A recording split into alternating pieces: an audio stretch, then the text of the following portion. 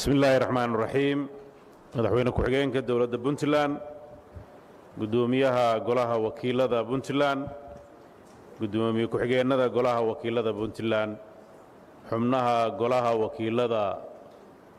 puntland iyo heer federaal xubnaha golayaasha dowladda ee kala duwan isimada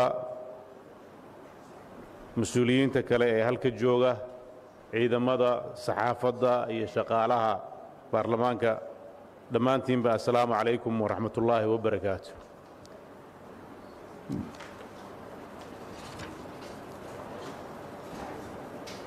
waxaynu joognaa maanta shan iyo tobankii bishii lixaad oo ku beegan maalintii carafo sagaalaadka oo ah maalin weyn waxaan ilaahay subxaana wa tacaala ka baryaynaa inuu nawaafajiyo acmaasha inta xajka joogana ee carafada joogana ilaahay uu u fududeeyo acmaasha adag ay ku jiraan ajar iyo xasanaadna ka siiyo. Inteenna aanan fursadda u helinna maalmaha soonka iyo ducada iyo istikfaarta faraha badan ee la samaynayo ilahay waxaan ka rajaynaynaa inuu noogu dembi dhaafo. Khayrkeeda iyo barakadeena na soo waafajiyo sidoo kaleetana insha allah waxaan si hordhaca isugu hambalyeelaynaa maalinta birita ah oo maalinta ciidal adxa intaa markaan ka baxo sidoo kale waxaan jeclahay inaan halka uga tacsiyeeyo xildhibaan cali oo runtii ku geeriyooday shil gaari. Waxaan sidoo kaleeto ilaahay u baryayaa xildhibaan guuleed inuu caafimaad sariica siiyo. Intaa kadib waxaa sharaf weyn ii ah inaan maanta idin hor imaado si aan idinka warbixiyo xaaladda guud ee degaanada puntland iyo waxqabadyadii iyo guulihii ay xukuumaddu meel marisay muddadii u dhexaysay labadii kalfadhi ee oktoobar iyo bishii meey isla markaana aan sidoo kale idiin la wadaago barnaamijka mudnaanta hortebinta leh iyo siyaasadda xukuumaddaydu ay qorshaysay inay ku jihayso puntland mustaqbalka dhow iyo kan fogba. Waxaa hortiinna yaalla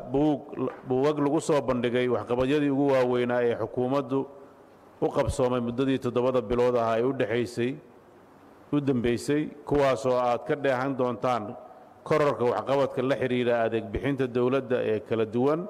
sida adeegbixinta arrimaha amniga iyo kuwa dhanka sharciga adeegbixinta arrimaha bulshada adeegyada horumarinta kaabayaasha dhaqaalaha tayaynta awoodaha hay'adaha dowladda iyo kor u qaadidda hannaanka maamul wanaagga daahfurnaanta iyo isla xisaabtanka ka dhexeeya hay'adaha golayaasha kala duwan ee dowladda iyo shacabka puntland. Mudana guddoomiye mudanayaaliya marwooyin sida aad la wada socotaan waxaan dhowaan soo dhammaaday shirkii jihaynta xukuumadda dowladda puntland kaasoo dib loogu milicsaday guulihii la gaaray guulihii laga gaaray siddeedii yool iyo lixdan iyo lixdii ballanqaad ee saldhigga u ahaa barnaamijkii xukuumadda shantii sano ee hore isla markaana waxaa si xeel dheer loogu gorfeeyey mudnaanta hortebinta u leh xukuumadda kaasoo ku qotoma barnaamijkii xukuumadda ee aad ansixiseen koob iyo tobankii bishii saddexaad sidoo kale waxaa laydinla wadaagay hadda buug koobaya yoolasha hortebinta u leh xukuumaddan. Haddaba waxaan ku kalsoonahay in barnaamijkaasi inoo horseedi doono amni horumar iyo baraare. Nuxurka barnaamijka jihaynta xukuumadda dowladda puntland ayaa diiradda saaray qodobada hortebinta leh ee soo socda. Kor u qaadidda hannaanka maamul wanaagga iyo ku dhaqanka sharciga horumarinta kaabayaasha iyo kobaca dhaqaalaha horumarinta wax soo saarka gudaha horumarinta arrimaha adeega bulshada siyaasadda ku aadan hannaanka dowlad dhiska dowladda federaalka ah iyo dowladaha xubnaha ka ah iyo arrimaha gobolka si loo xoojiyo isla xisaabtanka iyo daahfurnaanta. Waxay xukuumaddu mudnaanta siinaysaa inay si faahfaahsan u soo bandhigi doonto bulshada qaybaheeda kala duwan iyada oo guddi hoosaadyada wasaaradeed ee loo xilsaaray inay meel mariyaan barnaamijkan ay soo ururiyeen islamarkaasna waafajiyeen barnaamijka xukuumadda lagu dari doono talooyinka iyo weydiimaha dadweynaha. Waxaa asbuuca dambe noo qorshaysan inaan magaalada madaxda garoowe ku qabanno shirweyne u dhexeeya dadweynaha iyo dowladda oo lagu soo bandhigi doono qorshaha xukuumadda waxaa sidoo kale noo qorshaysan in degmooyinka kale ee puntland la gaarsiiyo.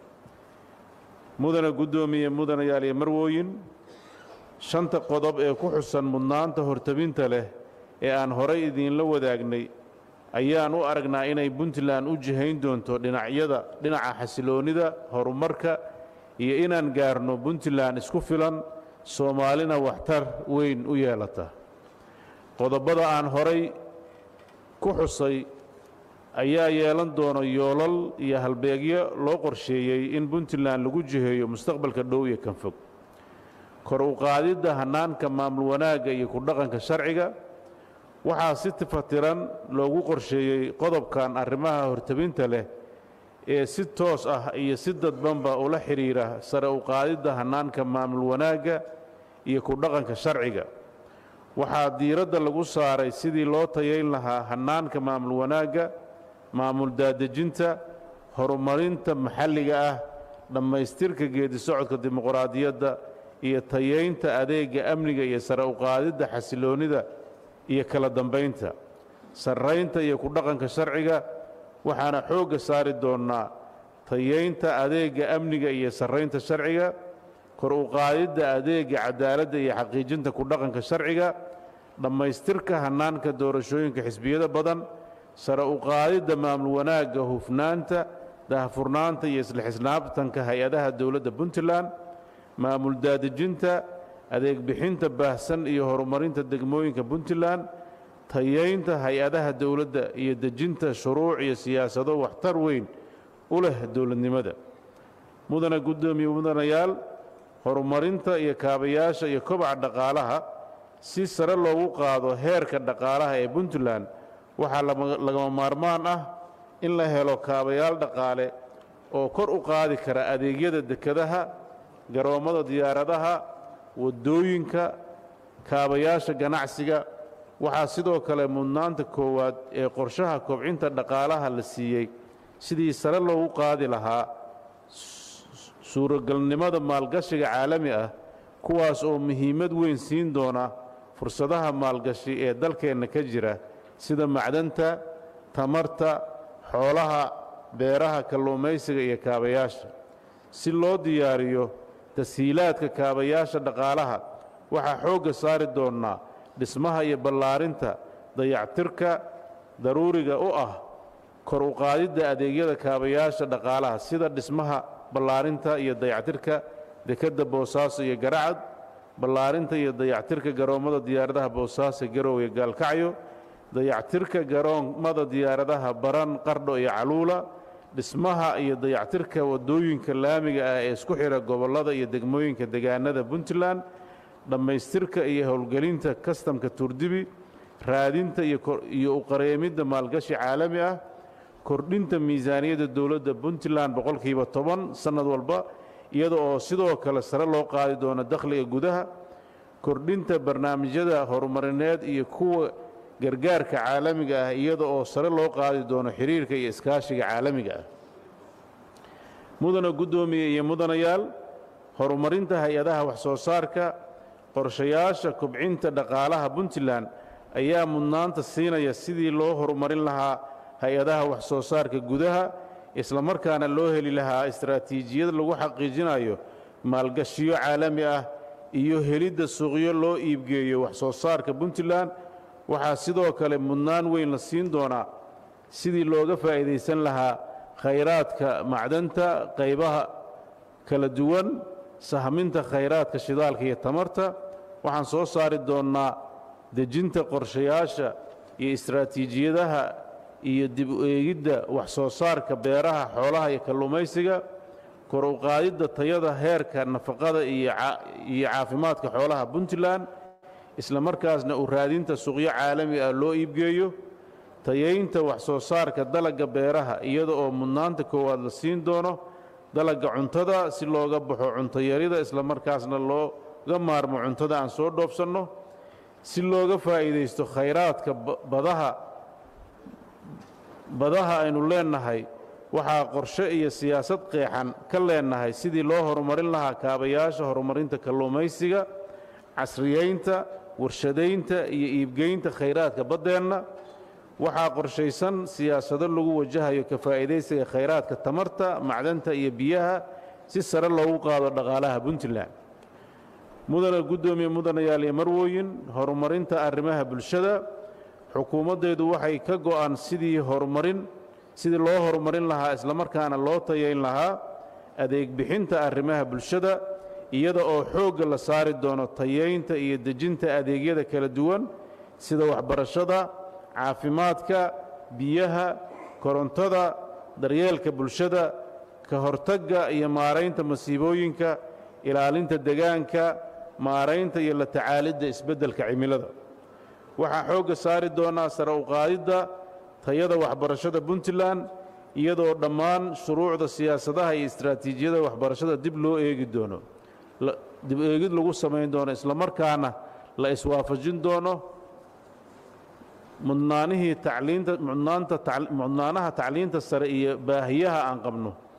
Waxaa hoos loo dhigi doonaa tirada carruurta aan waxbarashada aasaasiga ah helin iyada oo sare loo qaadi doono tirada iyo tayada dugsiyada waxbarashada aasaasiga ah. Waxaa inoo qorshaysan in tayada adeegga caafimaadka ee cisbitaallada sare sare loo qaado si loo yareeyo adeegga caafimaad inay bulshadeennu u doono dalka dibaddiisa. Waxaa sare loo qaadi doonaa heerka isla xisaabtanka iyo korjoogtaynta tayada daawada tayada adeegga xarumaha caafimaadka gaarka loo leeyahay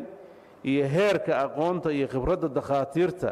iyo howlwadeennada caafimaadka.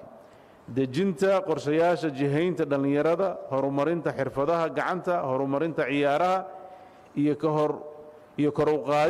shaqo abuurka dhallinyarada. Kor u arrimaha daryeelka bulshada agoommaha danyarta iyadoo loo samayn doono siyaasad noloshooda wax looga beddeli doono.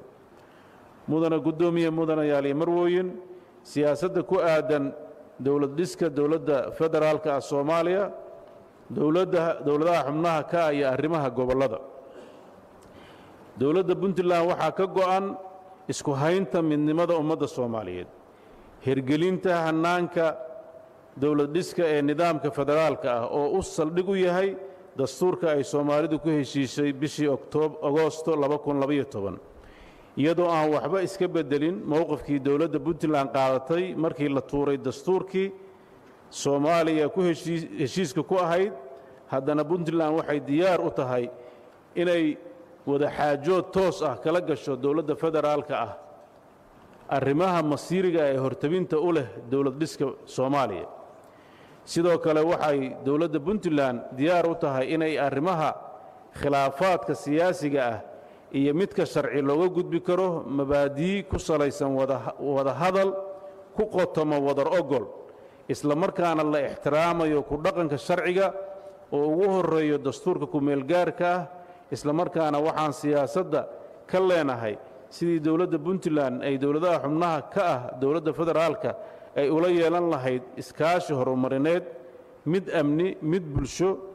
Dowladda puntland waxay juhdi badan ku bixisay haddana ay diyaar u tahay sidii loo xaqiijin lahaa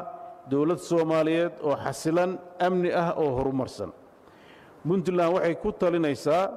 in laga fogaado siyaasadaha guracan ee ku dhisan in talada dalka la maroorsado isla markaana ay koox dano gaar ah dalka iyo dastuurka u afduubnaato dowladda puntland iyadoo xeerinaysa mabaadi'da dowladnimada iyo ku dhaqanka dastuurka iyo shuruucda dalka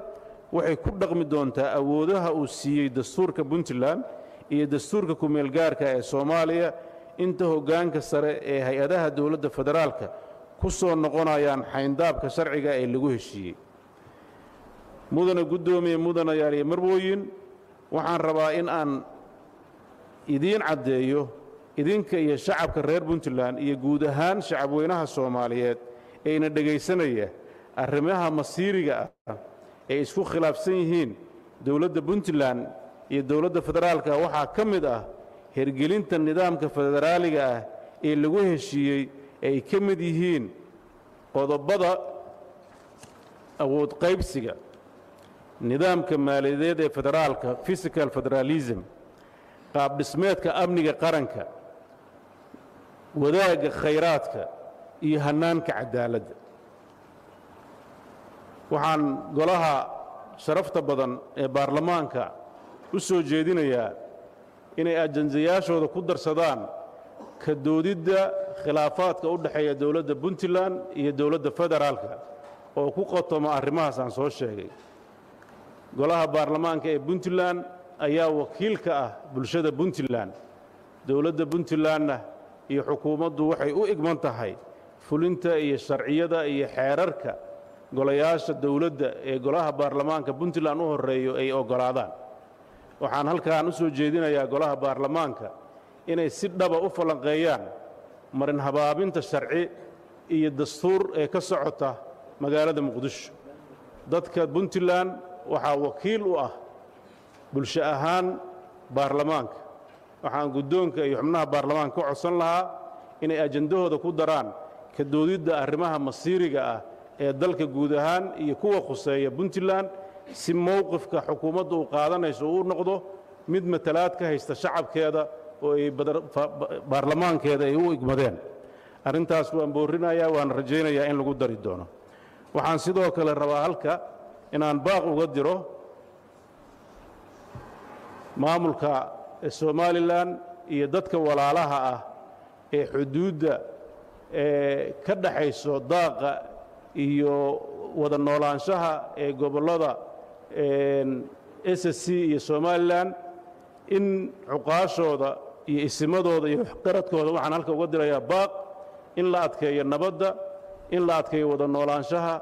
iyo in la ilaaliyo inaan cidna cid ku xadgudbin si loo ilaaliyo wada jirka ehelnimada iyo wada dhaqanka muddada dheer soo jiray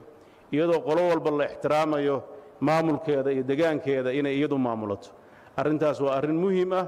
waa in laga gudbaa colaadaha sokeeye waa in bulshadu ay wada hadashaa waa inay bulshadu isu oggolaataa qolo walba waxa ay doorato oo danteeda ku jirto inay ku dhaqanto. Arrintaas ayaa u horseedi karta soomaali xasiloon is-ogol wada nool waxaan rajaynayaa arrimaha siyaasiga ah ee u dhexeeya siyaasiyiinta inaysan noqonin mid galaafta nolosha bulshada ee ku ekaadaan arrimaha siyaasadeed ay noqdaan kuwo aragti iyo afkaar ku salaysan aysan noqon kuwo colaado huriya. Waxaan sidoo kaleeto dowladda federaalka ah gaar ahaan madaxweynaha jamhuuriyadda federaalka soomaaliya halka baaq uga dirayaa in loo dhibriyo lana ixtiraamo qaylada maalmahan ka soo yeeraysa magaalada muqdisho ee ku aadan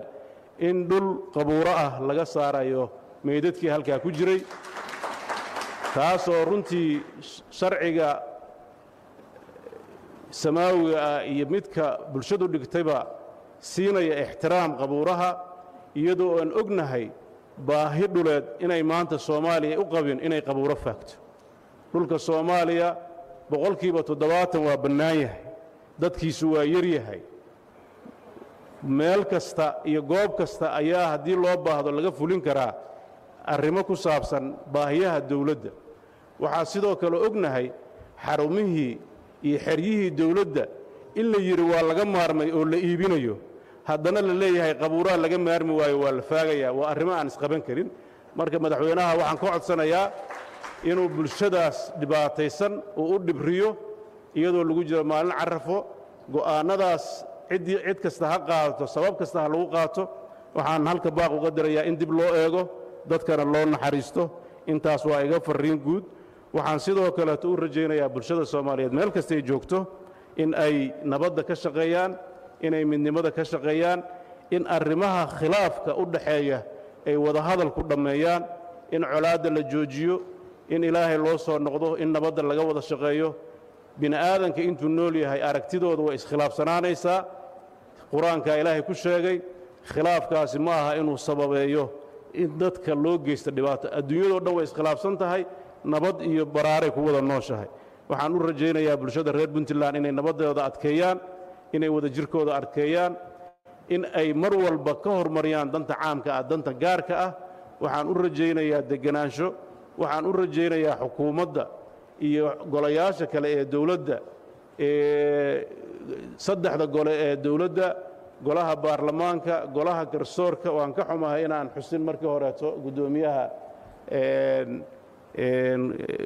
maxkamadda sare iyo maxkamadda dastuurka ah waxaan rajaynayaa golayaasha dowladdu inay noqdaan golayaal wada shaqeeya bulshada u wada adeega isdhaafsada xiriir dhow waxaan uga mahad celinayaa golahan baarlamaanka iyo guddoonkiisaba in wada shaqaynta golaha xukuumaddu uu aad u sarreeyo. Barnaamijkii jihaynta ay xukuumaddan ay soo bandhigtay oo hadda hor yaalla golaha baarlamaanka markii la bilaabaye la furayay waxaa ka wada qayb qaatay saddexda gole ee dowladda golaha garsoorka golaha baarlamaanka iyo golaha xukuumadda. Waxaan ilaahay ka baryaynaa inaan noqonno dad ummaddooda u adeega iska kaashada waxa wanaagga ah waxyaabaha ee bulshadeenna dheeriga ku ahna ee ka wada digtoonaado. Khudbaddaydan kuma salaysna waxyaabaha la qabanayo oo hadda aan soo bandhigaya iyo wixii la soo qabtay maxaa yeelay iyadoo laba buug ah ayaan waxaan u qaybinnay golaha baarlamaanka oo ay khusayso. Waxaan rajaynayaa inay si tafaasiila u dheehdaan waxyaabihii qabsoomay oo wixii dhaliila ay ka soo saaraan. Waxaa kaloo hortiinna yaalla shanta sano soo socota wasaarad walba waxa ay ay malaynayso inay qabato hortabinta u leh iyadoo ka baaraan degtay iyada iyo howlwadeennadeeda. Waxaan rajaynayaa in barnaamijkaasi uu noqdo intiisa badan mid fula. Waxaan u soo bandhigno inuigu dhiibnay inaad xukuumadda kula xisaabtantaan idinkaa mas'uuliyiintii dadweynaha u matalaya ah. Iyaga ayaa soo qoray wasaarad walba hortabintan iyaday ka timid. Wixii duruufi u diidana in la arko wixii gaabis ka yimaadana inaad kula xisaabtantaan idinkoo matalaya dadweynaha mudana guddoomiye mudanayaal iyo marweyn waxaan golaha wakiilada hor yaalla sagaal sharci kuwaasoo isugu jira shuruuc horay u jirtay oo dib-eegis lagu sameeyey iyo hindisa sharciyeedyo cusub. Dhammaan xeerarkan aan soo sheegay waxa ay qayb ka ahaayeen qorshihii dawladda u degganaa inay meel mariso kuwaasoo qayb ka ah tayaynta adeegyada dawladda waxaan rajaynayaa in dhammaantood aad ansixin doontaan inta lagu jiro kalfadhiga konton iyo afaraad. Ugu dambayn waxaan u rajaynayaa kalfadhigan inuu noqdo mid guulo badan looga gaaro arrimaha masiiriga ah ee idin hor yaalla isla markaasna waxaan si rasmi ah inoogu furan kalfadhiga konton iyo afaraad ee golaha wakiilada ee lixaad ee dowladda puntland. Wabilaahi towfiiq wasalaamu calaykum waraxmat ullaahi wabarakaatu